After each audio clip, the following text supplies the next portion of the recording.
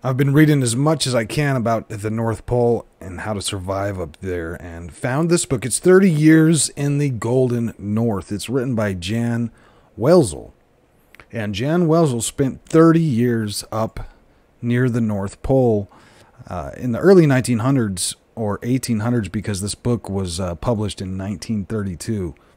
Born in 1868, died in 1948, and he was even an Eskimo chief. But based on his conversations with some of these guys, they got it into a book, and that's called 30 Years in the Golden North. But he also had a bunch of other texts, and he did various lectures and uh, told about his his time at the uh, up at the North Pole. Here's a picture of him. So he definitely existed, although for a long time his uh, people even doubted that, that he was a real man. But an interesting book here, 30 Years in the Golden North. I, I haven't read the entire thing. Take note of the obvious uh, square and compass symbolism right here from the publishing company. But uh, 30 Years in the Golden North but a lot of interesting information about the far north, Siberia, and Eskimos. He, uh, of course, crossed over the Bering Strait into the Inuits area. And this one is a small tale uh, from the far, far north, and it's about this guy's travels. No one knows for sure whether the hero of this book really existed, but I believe he did. His name was Jan Welzl, and he was the folk hero in my native Czechoslovakia, when I was growing up, his tales and breathtaking Arctic journeys inspired me and countless others to dream of similar adventures. He traveled without a map, adjusting his route according to information he picked up along the way. And when he reached a river, there was, if there was no bridge, he would build a raft to get him and his horse across. When he got closer to the polar region, he traded his horse for reindeer and a sled. And like Robinson Crusoe, he met every obstacle and problem with a solution, and after three long winters, he reached the Bering Sea and St. Lawrence Island. Here is a fragment of Jan Welzl's story. Is it a tall tale? I have my doubts. Let's see what it says. Oh, misery, there must be a better life than this. I'm going to find it. So, Jan Welzl, as a boy, is not happy with society and he's taking off to the North Pole. I can sure relate to that. I have bought a horse and a cart, tools and hunting gear, food and provisions, and I am heading for the far north. Once again, this is exactly what I've just finished, except I don't have a horse, I have a sled. But here he is leaving uh, from his area here and following the path to the northeast up into Siberia.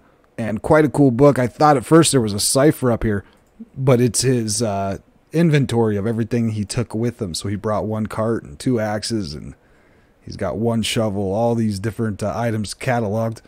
And looks like he's gone past Babylon, and he is uh, in the area of the Tartarians, more or less, and getting closer and closer to the Bering Strait, which is right here, and then, of course, up into the Arctic and the North Pole.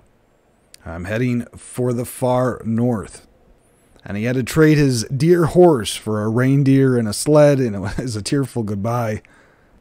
And this one, you know, all kinds of uh, small, intricate details and drawings explaining some of the events of the story as he uh, finds a cave and makes a good home.